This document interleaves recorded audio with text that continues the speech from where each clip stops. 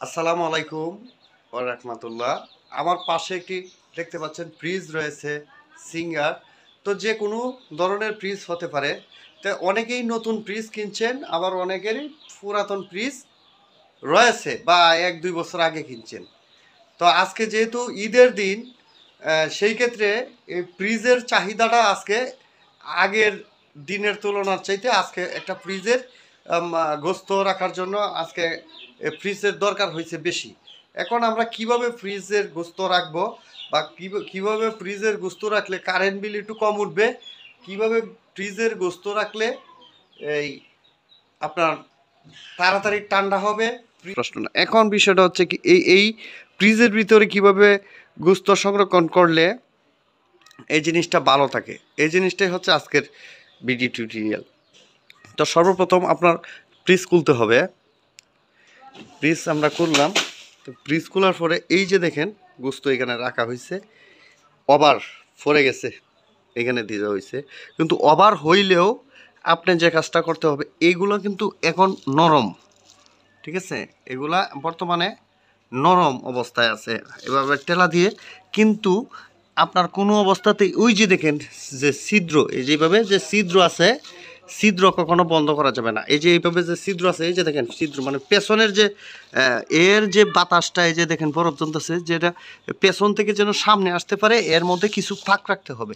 একবারে এই যে স্যাম্পারটা দেখেন, এই স্যাম্পারটা একবারে পুরোপুরি ফিল আপ, ওই যে অল্প একটু ফাঁক আসতেছে এই দিক দিয়ে। এই, এটার মধ্যেও এভাবে প্রয়োজন এইভাবে দুই সাইড দিয়ে একটু ফাঁক করে দিতে হবে, যে ফ্রিজের যে বাতাসটা আছে, যে হাওয়াটা যেন কম্প্রেসারের সামনে আসতে পারে।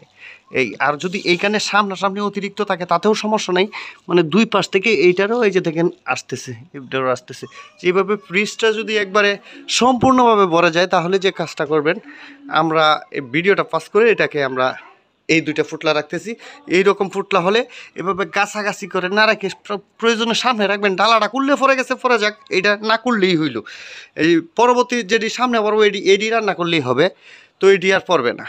এখন আমরা যদি একটু এই ফুটলাটাকে দেখেন, এভাবে যদি দিয়ে দিই এইভাবে টেলা দিয়া, এইগুলি কিন্তু আমরা এখানে ঢুকাইতে পারি। তাহলে কিন্তু আমাদের ওই যে সেম্পারের যে পেছন থেকে যে কুলিংটা আসে, এই কুলিংটা কিন্তু অফ হয়ে যায়। এভাবে একটু ফাঁক যেন থাকে। এই জিনিসটা সবারই লক্ষ্য রাখা উচিত।